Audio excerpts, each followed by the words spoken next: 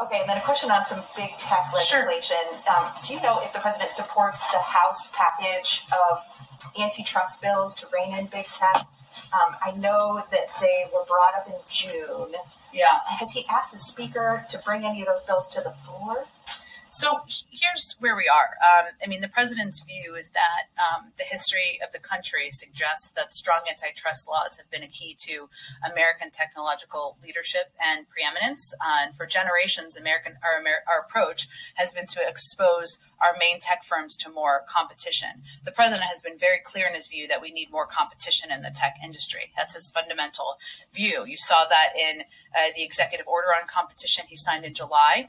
Uh, and uh, his view is that uh, over the past 10 years, the largest tech platforms have, uh, as they've acquired hundreds of companies, including alleged killer acquisitions meant to shut down a potential comp- competitive threat, that's not a healthy place for the system.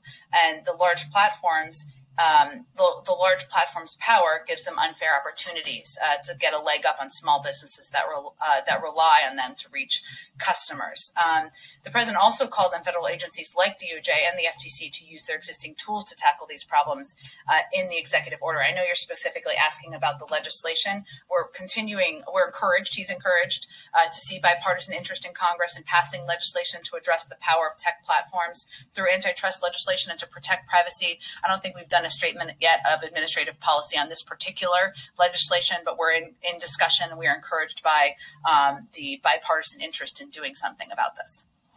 Go ahead.